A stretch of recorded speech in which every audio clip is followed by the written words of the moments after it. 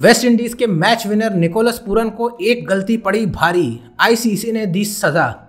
भारत के खिलाफ दूसरे मैच में वेस्ट इंडीज टीम की जीत के हीरो निकोलस पूरन रहे थे, जिन्होंने आतिशी अंदाज में 50 लगाई थी। मगर उन्होंने मैच के दौरान एक ऐसी गलती कर दी, जिसकी वजह से अब आईसीसी ने उन्हें सजा दी है। दरअसल वेस्ट इंडीज की पारी के चौथे ओवर में पूरन ने अंपायर से बहस की थी। इसको लेकर आईसीसी ने उन्हें दोषी माना है और मैच फ़ीस का 15 प्रतिशत जुर्माना लगा दिया है। पूरन ने खिलाड़ियों और खिलाड़ी सपोर्ट स्टाफ के लिए आईसीसी आचार संहिता के अनुच्छेद 2.7 का उल्लंघन किया है।